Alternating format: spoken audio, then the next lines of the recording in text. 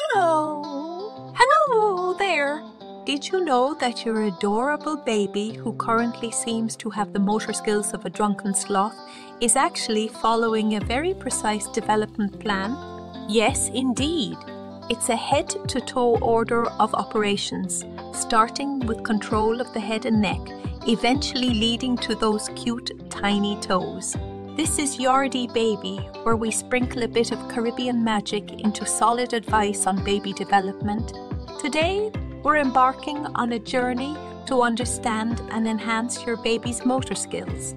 So buckle up, it's going to be a wild ride, full of interesting insights, clever tips, and a dollop of Caribbean flair. Let's peek into the future, shall we? In this epic saga of exploration and discovery, we'll unravel the secrets of motor skills, those mysterious abilities that let your little one eventually throw spaghetti from their high chair with pinpoint accuracy. We'll navigate through the various stages of motor development, unveil some exclusive Caribbean insights that will make your grandma nod in approval, and show you how to incorporate these exciting activities into your daily routines. It's like a treasure map but instead of leading to buried gold, it leads to a more coordinated, adventurous, and independent baby. Now, why are we so interested in motor skills, you ask? Well, think of it this way motor skills are your baby's first language. It's their way of exploring the world, expressing curiosity, even throwing epic tantrums. It's the foundation of the interaction with everything around them and as parents or cool aunts or superhero babysitters, how can we best encourage this development? What are those Caribbean moms doing that we might not know about? Grab your notepads, people, because we're about to venture into these fascinating territories. First off, let's get our definitions straight. Motor skills are the movements and actions of the muscles. Simple, right? Now, these skills are primarily of two types gross motor skills that involve large muscles, like those for running and jumping, and fine motor skills that use smaller muscles, like picking up a Cheerio. These skills are essential for your baby's independence and confidence. Next, let's talk about how these skills develop. It's like a thrilling multi stage rocket launch. Stage 1 Newborns start by getting a grip on their head and neck control. Stage 2 Infants around 3 6 months begin working on sitting up and rolling over. Stage 3 Crawling and standing come into play around 9 12 months.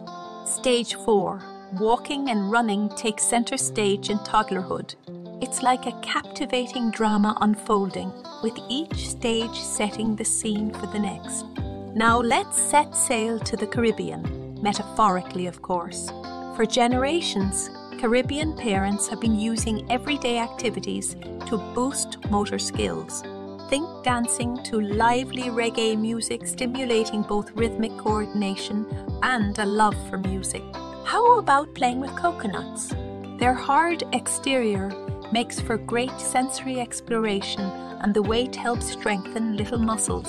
Who knew that coconuts could be baby development tools?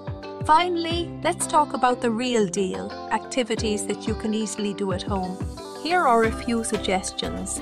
For newborns, try gentle head and neck exercises during tummy time. For infants, encourage reaching and grasping by placing toys just a tad out of reach during playtime. Older babies benefit from games like Stack the Blocks or Hide and Seek which promote problem solving along with motor skills. The secret ingredient here make it fun.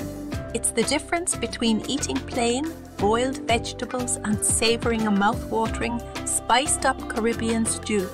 And with that, we've reached the end of our motor skills masterclass.